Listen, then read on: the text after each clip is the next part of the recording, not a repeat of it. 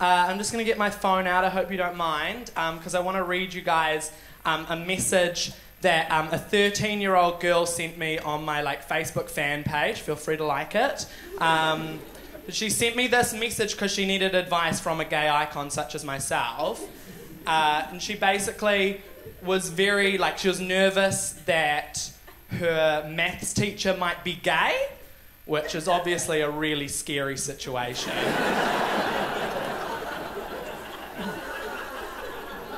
You. So she just sort of came to me to sort of like walk her through it. I guess, like, she gave me a list of everything that he did that could be considered gay.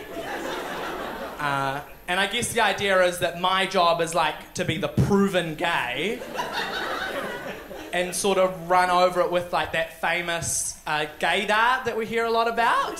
Just sort of go like, Ooh, and let her know. Um, what she doesn't know, she asked the wrong person. My gaydar is terrible. Last weekend I sucked a guy's fingers off in a garage because he was too scared to let me suck his dick. So.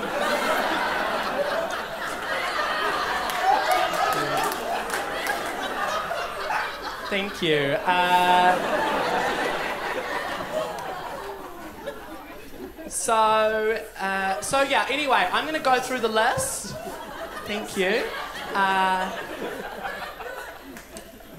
it's to be a, a, fun show. Um, I'm to go through the list with you guys, and um, you can sort of decide in your own head if you think he's gay. Okay, so basically, cool. So the first reason on the list of why this uh, maths teacher might be gay is he has a gay voice. Quite self-explanatory. Uh, this next one just says he came in with a big hello, hello.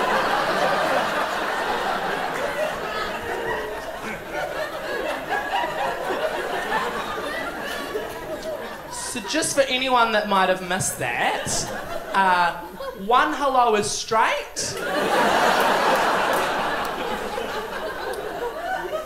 Two hellos, you're getting a little bit faggy. So, just watch out for that one.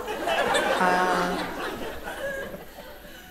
this one says, not caring. Example, laid back. I don't think she knows what an example is.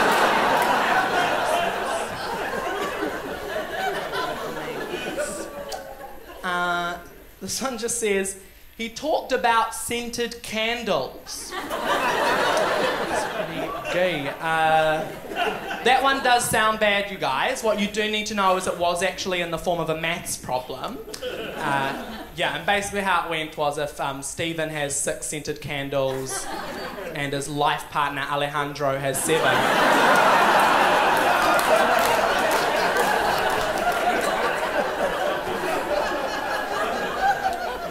How many scented candles do they have? Remember to carry the three and keep into account they're all shaped like penises. So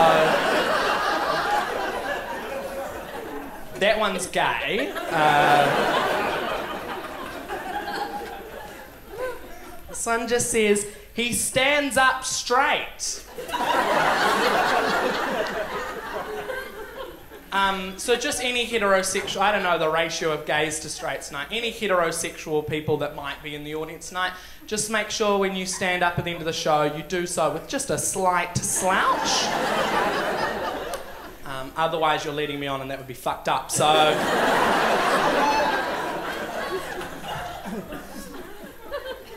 this one literally just says, he's been smoke free for seven weeks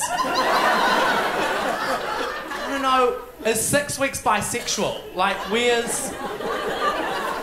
Where do you cut it off? Uh, I feel bad for him at this point, you guys. I feel bad for this maths teacher because I feel like he's just like. He's, he's just living his life and he's just he's been smoke free for seven weeks he's super proud of himself it's a big accomplishment he's like it's finally time i can tell my kids uh, and he goes into the classroom is like hello hello uh, you guys, I have been smoke free for seven weeks, and just some kid at the back of the class yells out, gay!